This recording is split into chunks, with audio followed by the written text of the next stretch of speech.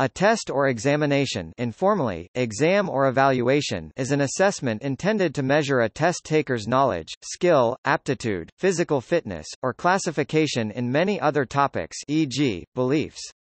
A test may be administered verbally, on paper, on a computer, or in a predetermined area that requires a test taker to demonstrate or perform a set of skills. Tests vary in style, rigor and requirements. For example, in a closed-book test, a test taker is usually required to rely upon memory to respond to specific items whereas in an open-book test, a test taker may use one or more supplementary tools such as a reference book or calculator when responding. A test may be administered formally or informally. An example of an informal test would be a reading test administered by a parent to a child. A formal test might be a final examination administered by a teacher in a classroom or an IQ test administered by a psychologist in a clinic. Formal testing often results in a grade or a test score. A test score may be interpreted with regards to a norm or criterion, or occasionally both. The norm may be established independently, or by statistical analysis of a large number of participants. An exam is meant to test a person's knowledge or willingness to give time to manipulate that subject. A standardized test is any test that is administered and scored in a consistent manner to ensure legal defensibility. Standardized tests are often used in education, professional certification, psychology e.g., MMPI, the military, and many other fields. A non-standardized test is usually flexible in scope and format, variable in difficulty and significance. Since these tests are usually developed by individual instructors, the format and difficulty of these tests may not be widely adopted or used by other instructors or institutions. A non-standardized test may be used to determine the proficiency level of students, to motivate students to study, and to provide feedback to students.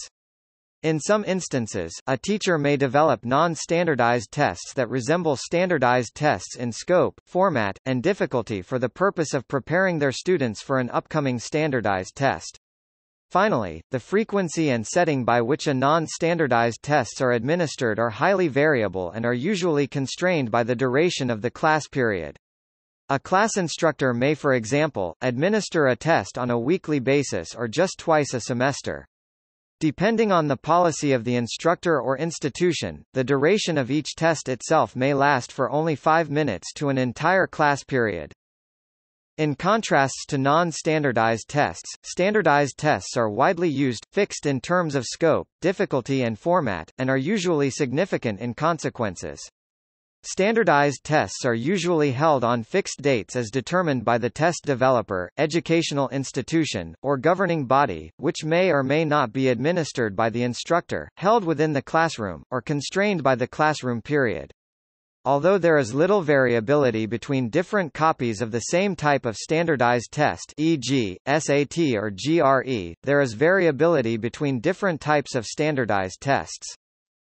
Any test with important consequences for the individual test taker is referred to as a high-stakes test. A test may be developed and administered by an instructor, a clinician, a governing body, or a test provider. In some instances, the developer of the test may not be directly responsible for its administration. For example, Educational Testing Service ETS, a nonprofit educational testing and assessment organization, develops standardized tests such as the SAT but may not directly be involved in the administration or proctoring of these tests. As with the development and administration of educational tests, the format and level of difficulty of the tests themselves are highly variable and there is no general consensus or invariable standard for test formats and difficulty. Often, the format and difficulty of the test is dependent upon the educational philosophy of the instructor, subject matter, class size, policy of the educational institution, and requirements of accreditation or governing bodies. In general, tests developed and administered by individual instructors are non-standardized whereas tests developed by testing organizations are standardized.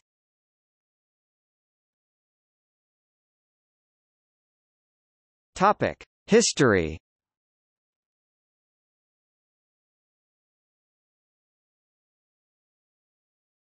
Topic: Early history.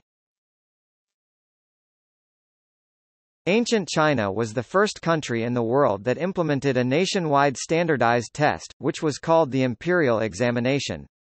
The main purpose of this examination was to select able candidates for specific governmental positions.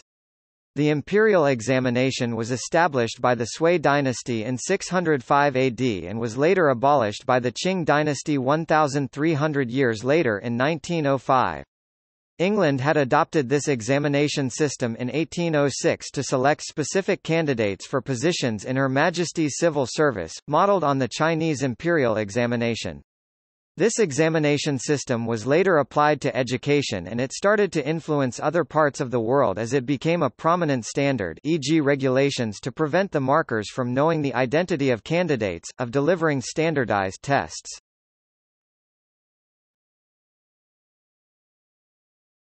Topic. Modern era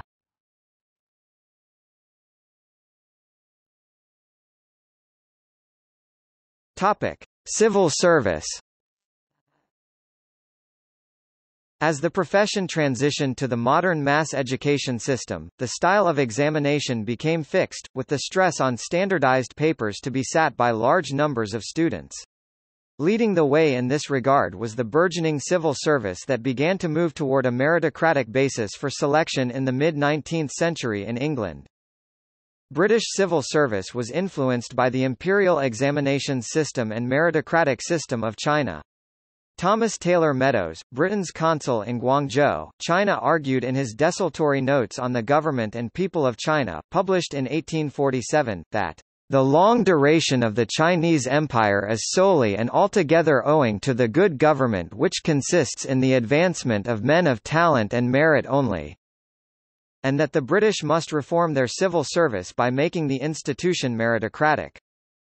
As early as in 1806, the Honourable East India Company established a college near London to train and examine administrators of the company's territories in India. Examinations for the Indian civil service, a term coined by the company, were introduced in 1829. In 1853, the Chancellor of the Exchequer William Gladstone commissioned Sir Stafford Northcote and Charles Trevelyan to look into the operation and organization of the civil service.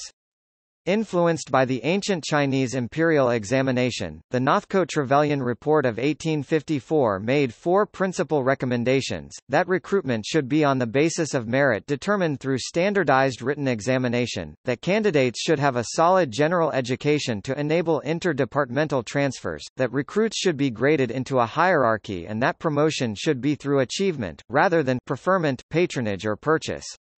A civil service commission was also set up in 1855 to oversee open recruitment and end patronage, and most of the other Northcote-Trevelyan recommendations were implemented over some years. The Northcote-Trevelyan model of meritocratic examination remained essentially stable for a hundred years.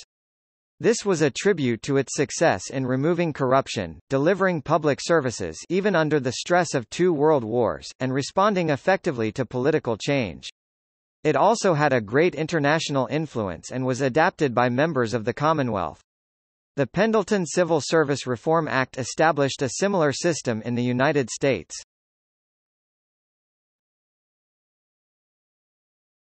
Topic: Education. Written examinations had been unheard of before 1702 for European education. The Chinese examinations were described repeatedly in Western literature on China of the 17th and 18th centuries. Standardized testing began to influence the method of examination in British universities from the 1850s, where oral examination had been the norm since the Middle Ages. In the U.S., the transition happened under the influence of the educational reformer Horace Mann. This shift decisively helped to move education into the modern era, by standardizing expanding curricula in the sciences and humanities, creating a rationalized method for the evaluation of teachers and institutions and creating a basis for the streaming of students according to ability. Both World War I and World War II demonstrated the necessity of standardized testing and the benefits associated with these tests. Tests were used to determine the mental aptitude of recruits to the military. The U.S. Army used the Stanford Binet Intelligence Scale to test the IQ of the soldiers. After the war, industry began using tests to evaluate applicants for various jobs based on performance. In 1952, the first Advanced Placement AP test was administered to begin closing the gap between high schools and colleges.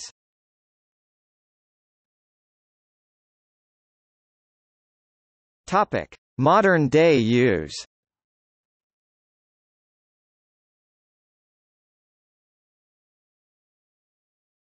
Topic: Education. Some countries such as the United Kingdom and France require all their secondary school students to take a standardized test on individual subjects such as the General Certificate of Secondary Education GCSE in England and Baccalaureate respectively as a requirement for graduation.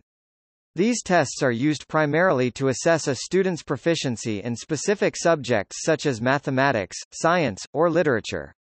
In contrast, high school students in other countries such as the United States may not be required to take a standardized test to graduate. Moreover, students in these countries usually take standardized tests only to apply for a position in a university program and are typically given the option of taking different standardized tests such as the ACT or SAT, which are used primarily to measure a student's reasoning skill. High school students in the United States may also take advanced placement tests on specific subjects to fulfill university-level credit. Depending on the policies of the test maker or country, administration of standardized tests may be done in a large hall, classroom, or testing center.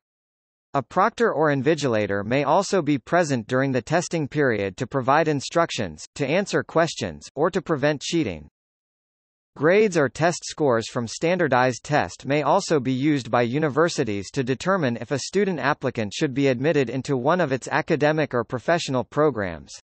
For example, universities in the United Kingdom admit applicants into their undergraduate programs based primarily or solely on an applicant's grades on pre-university qualifications such as the GCEA levels or Cambridge Pre-U.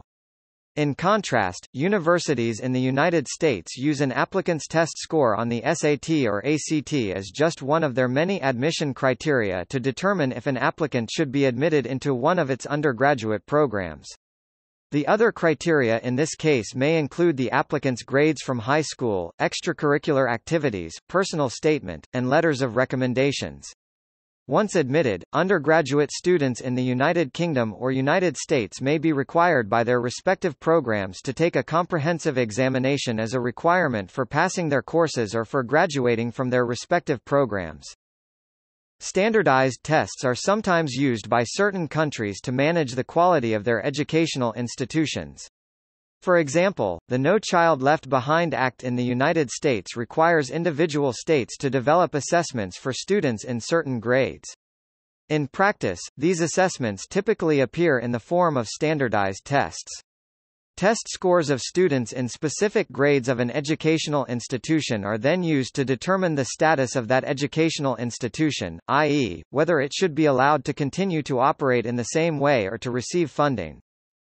Finally, standardized tests are sometimes used to compare proficiencies of students from different institutions or countries.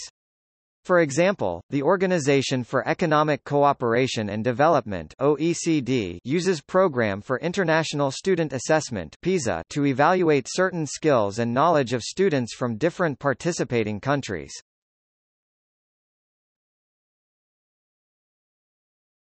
Topic: Licensing and certification Standardized tests are sometimes used by certain governing bodies to determine if a test taker is allowed to practice a profession, to use a specific job title, or to claim competency in a specific set of skills. For example, a test taker who intends to become a lawyer is usually required by a governing body such as a governmental bar licensing agency to pass a bar exam.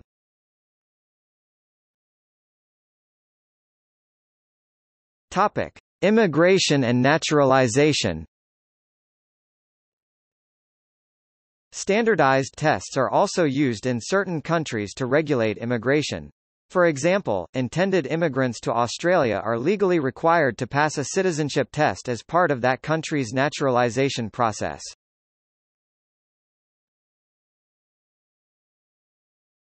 Topic: Language testing in naturalization process. When analyzed in the context of language testing in the naturalization processes, the ideology can be found from two distinct but nearly related points. One refers to the construction and deconstruction of the nation's constitutive elements that makes their own identity, while the second has a more restricted view of the notion of specific language and ideologies that may served in an specific purpose.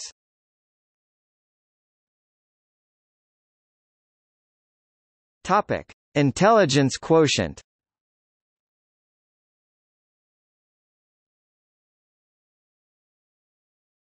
Topic: Competitions.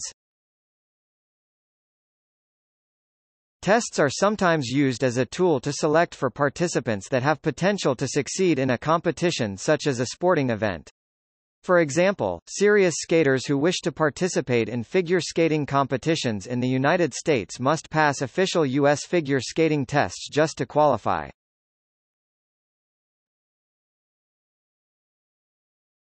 Topic. Group memberships Tests are sometimes used by a group to select for certain types of individuals to join the group. For example, Mensa International is a high IQ society that requires individuals to score at the 98th percentile or higher on a standardized, supervised IQ test.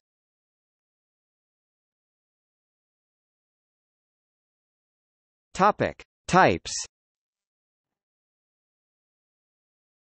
Assessment types include Formative assessments are informal and formal tests taken during the learning process. These assessments modify the later learning activities, to improve student achievement. They identify strengths and weakness and help target areas that need work. Summative assessments evaluate competence at the end of an instructional unit. Final exams allow assessors to determine if the candidate has assimilated the knowledge or skills to the required standard. Norm reference tests compare a student's performance against a national or other norm group. Performance-based assessments require students to solve real-world problems or produce something with real-world application. These assessments allow the educator to distinguish how well the students think critically and analytically. Authentic assessment is the measurement of accomplishments that are worthwhile compared to multiple-choice standardized tests. Criterion referenced tests are designed to measure student performance against a fixed set of predetermined criteria or learning standards.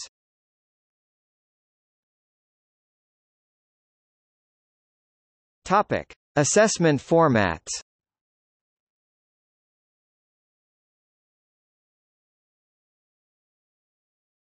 Topic: Written tests. Written tests are tests that are administered on paper or on a computer as an e-exam. A test taker who takes a written test could respond to specific items by writing or typing within a given space of the test or on a separate form or document. In some tests, where knowledge of many constants or technical terms is required to effectively answer questions, like chemistry or biology, the test developer may allow every test taker to bring with them a cheat sheet. A test developer's choice of which style or format to use when developing a written test is usually arbitrary given that there is no single invariant standard for testing. Be that as it may, certain test styles and format have become more widely used than others. Below is a list of those formats of test items that are widely used by educators and test developers to construct paper or computer-based tests. As a result, these tests may consist of only one type of test item format e.g., multiple-choice test, essay test or may have a combination of different test item formats e.g., a test that has multiple choice and essay items.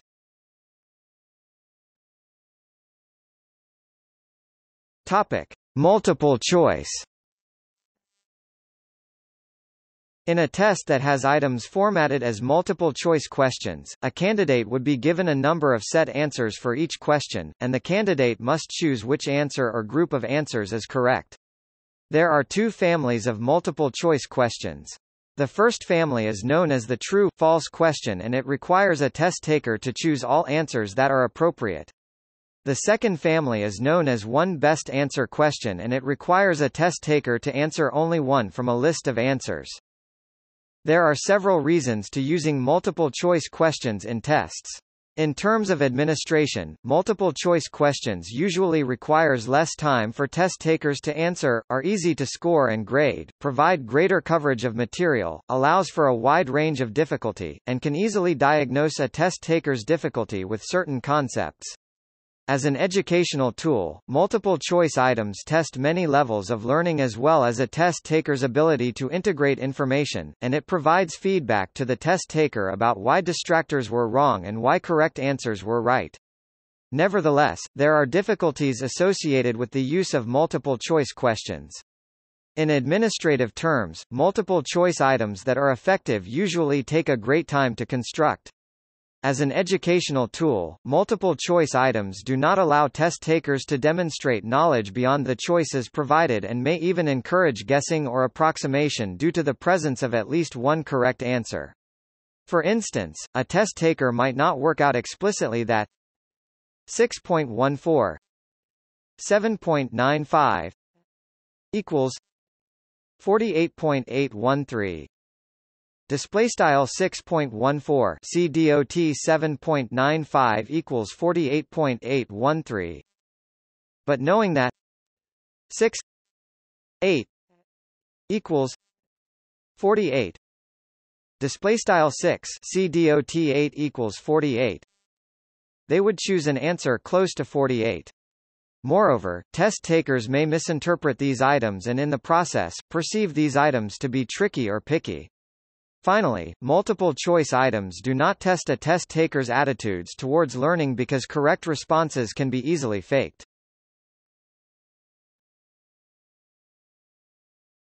Topic. Alternative response True-false questions present candidates with a binary choice, a statement is either true or false. This method presents problems, as depending on the number of questions, a significant number of candidates could get 100% just by guesswork, and should on average get 50%.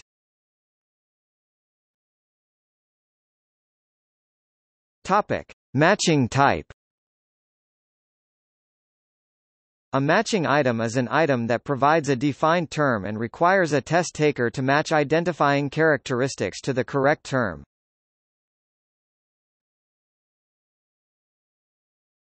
Topic: Completion type. A fill-in-the-blank item provides a test taker with identifying characteristics and requires the test taker to recall the correct term. There are two types of fill-in-the-blank tests. The easier version provides a word bank of possible words that will fill in the blanks. For some exams all words in the word bank are used exactly once. If a teacher wanted to create a test of medium difficulty, they would provide a test with a word bank, but some words may be used more than once and others not at all. The hardest variety of such a test is a fill-in-the-blank test in which no word bank is provided at all. This generally requires a higher level of understanding and memory than a multiple-choice test. Because of this, fill-in-the-blank tests with no word bank are often feared by students.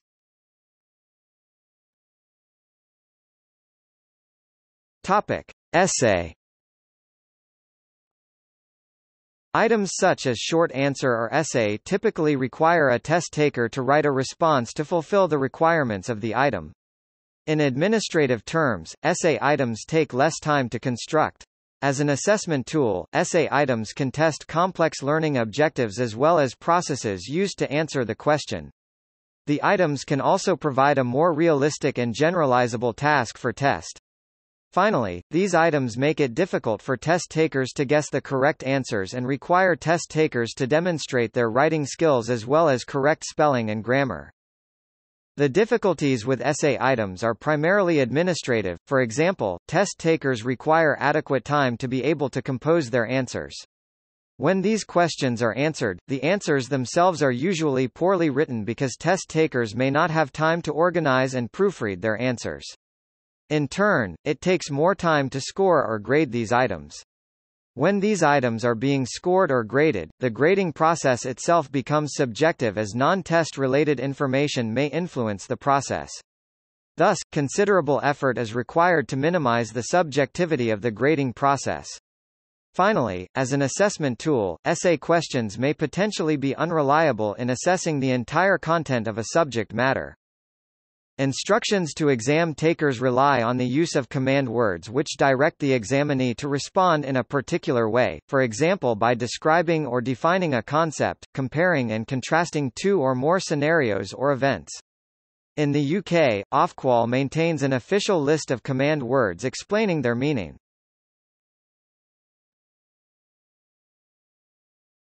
Topic: Quizzes. A quiz is a brief assessment which may cover a small amount of material that was given in a class. Some of them cover two to three lectures that were given in a period of times as a reading section or a given exercise in where the most important part of the class was summarize. However, a simple quiz usually does not count very much, and instructors usually provide this type of test as a formative assessment to help determine whether the student is learning the material. In addition, doing this at the time the instructor collected all can make a significant part of the final course grade.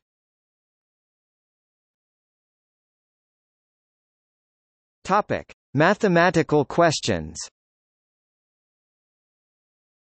Most mathematics questions, or calculation questions from subjects such as chemistry, physics or economics employ a style which does not fall into any of the above categories, although some papers, notably the Maths Challenge papers in the United Kingdom employ multiple choice. Instead, most mathematics questions state a mathematical problem or exercise that requires a student to write a freehand response. Marks are given more for the steps taken than for the correct answer. If the question has multiple parts, later parts may use answers from previous sections, and marks may be granted if an earlier incorrect answer was used but the correct method was followed, and an answer which is correct given the incorrect input is returned. Higher-level mathematical papers may include variations on true, false, where the candidate is given a statement and asked to verify its validity by direct proof or stating a counterexample.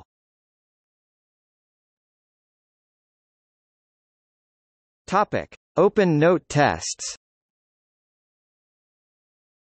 Though not as popular as the closed note test, open note tests are slowly rising in popularity. An open note test allows the test taker to bring in all of their notes and use them while taking the test. The questions asked on open note exams are typically more thought-provoking and intellectual than questions on a closed note exam. Rather than testing what facts you know, open note exams force you to apply the facts to a broader question.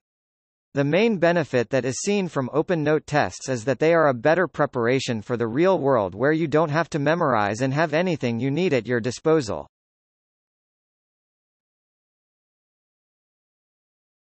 Topic: Oral tests. An oral test is a test that is answered orally verbally. The teacher or oral test assessor will verbally ask a question to a student, who will then answer it using words.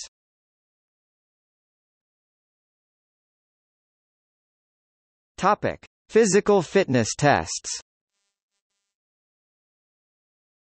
A physical fitness test is a test designed to measure physical strength, agility, and endurance. They are commonly employed in educational institutions as part of the physical education curriculum, in medicine as part of diagnostic testing, and as eligibility requirements in fields that focus on physical ability such as military or police. Throughout the 20th century, scientific evidence emerged demonstrating the usefulness of strength training and aerobic exercise in maintaining overall health, and more agencies began to incorporate standardized fitness testing.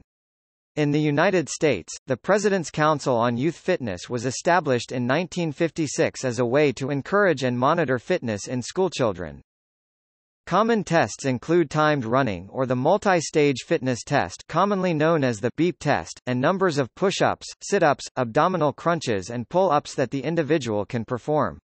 More specialized tests may be used to test ability to perform a particular job or role. Many gyms, private organizations and event organizers have their own fitness tests. Using military techniques developed by the British Army and modern test like Illinois Agility Run and Cooper Test, stopwatch timing was the norm until recent years when hand timing has been proven to be inaccurate and inconsistent. Electronic timing is the new norm in order to promote accuracy, consistency, and lessen bias.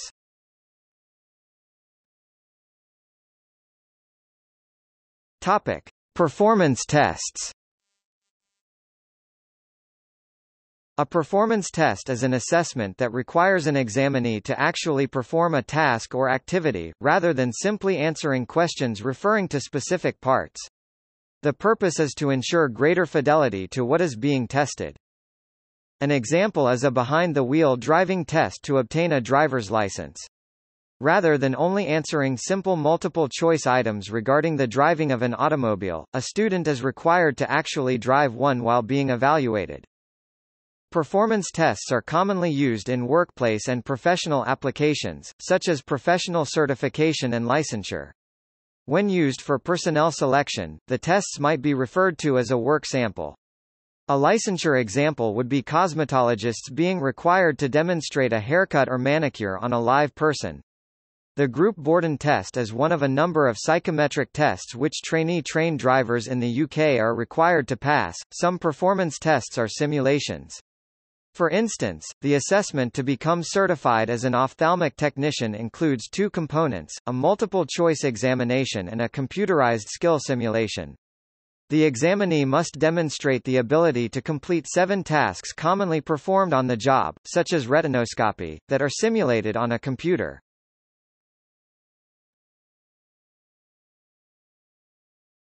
Topic. Preparations From the perspective of a test developer, there is great variability with respect to time and effort needed to prepare a test. Likewise, from the perspective of a test taker, there is also great variability with respect to the time and needed to obtain a desired grade or score on any given test.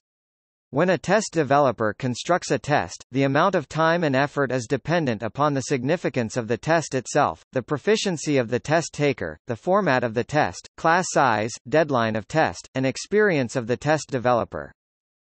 The process of test construction has been aided in several ways. For one, many test developers were themselves students at one time, and therefore are able to modify or outright adopt questions from their previous tests. In some countries, book publishers often provide teaching packages that include test banks to university instructors who adopt their published books for their courses. These test banks may contain up to 4,000 sample test questions that have been peer-reviewed and time-tested. The instructor who chooses to use this test bank would only have to select a fixed number of test questions from this test bank to construct a test. As with test constructions, the time needed for a test taker to prepare for a test is dependent upon the frequency of the test, the test developer, and the significance of the test. In general, non-standardized tests that are short, frequent, and do not constitute a major portion of the test taker's overall course grade or score do not require the test taker to spend much time preparing for the test. Conversely, non-standardized tests that are long, infrequent, and do constitute a major portion of the test taker's overall course grade or score usually require the test taker to spend great amounts of time preparing for the test. To prepare for a non-standardized test, test takers may rely upon their reference books, class or lecture notes, internet, and past experience. Test takers may also use various learning aids to study for tests such as flashcards and mnemonics. Test takers may even hire tutors to coach them through the process so that they may increase the probability of obtaining a desired test grade or score. In countries such as the United Kingdom, demand for private tuition has increased significantly in recent years. Finally, test takers may rely upon past copies of a test from previous years or semesters to study for a future test. These past tests may be provided by a friend or a group that has copies of previous tests or by instructors and their institutions, or by the test provider such as an examination board itself. Unlike a non-standardized test, the time needed by test takers to prepare for standardized tests is less variable and usually considerable. This is because standardized tests are usually uniform in scope, format, and difficulty and often have important consequences with respect to a test taker's future such as a test taker's eligibility to attend a specific university program or to enter a desired profession. It is not unusual for test takers to prepare for standardized tests by relying upon commercially available books that provide in-depth coverage of the standardized test or compilations of previous tests e.g., 10-year series in Singapore. In many countries, test takers even enroll in test preparation centers or cram schools that provide extensive or supplementary instructions to test takers to help them better prepare for a standardized test. In Hong Kong, it has been suggested that the tutors running such centers are celebrities in their own right. This has led to private tuition being a popular career choice for new graduates in developed economies. Finally, in some countries, instructors and their institutions have also played a significant role in preparing test takers for a standardized test.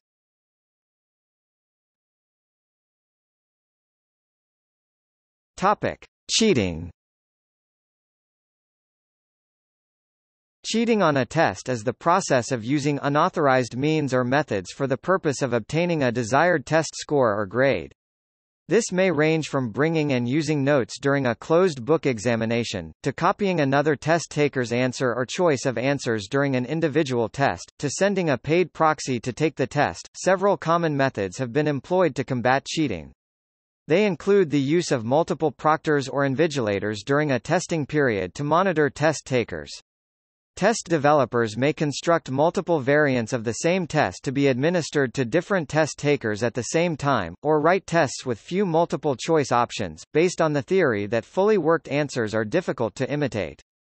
In some cases, instructors themselves may not administer their own tests but will leave the task to other instructors or invigilators, which may mean that the invigilators do not know the candidates, and thus some form of identification may be required. Another method is that if the student showed too many failed tests at given color levels, the students have to begin again at work in through additional skills builders. At that level the student choose to drop down a color level or obtain a missing prerequisite skills.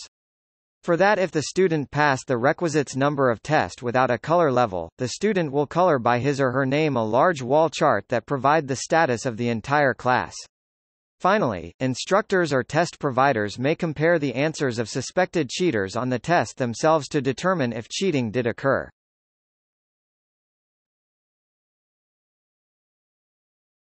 Topic: Support and criticisms. Despite their widespread use, the validity, quality, or use of tests, particularly standardized tests in education have continued to be widely supported or criticized. Like the tests themselves, supports and criticisms of tests are often varied and may come from a variety of sources such as parents, test takers, instructors, business groups, universities, or governmental watchdogs.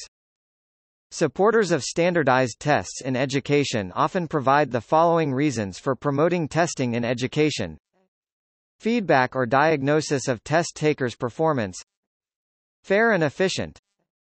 Promotes accountability. Prediction and selection Improves performance critics of standardized tests in education often provide the following reasons for revising or removing standardized tests in education. Narrows curricular format and encourages teaching to the test. Poor predictive quality. Grade inflation of test scores or grades. Culturally or socio-economically biased.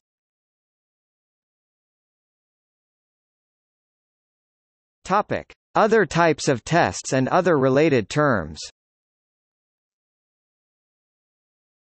Ordinary exam, an exam taken during the corresponding course. Sufficiency exam or examination for credit, an exam which should be taken as a way of getting official credits from the academic institution. Revalidation exam or equivalence exam, offering value for an exam previously taken in another institution. Extraordinary exam, an exam taken after the period of ordinary exams corresponding to the course.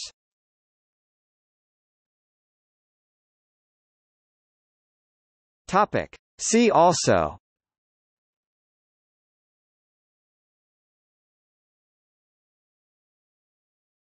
Topic. International examinations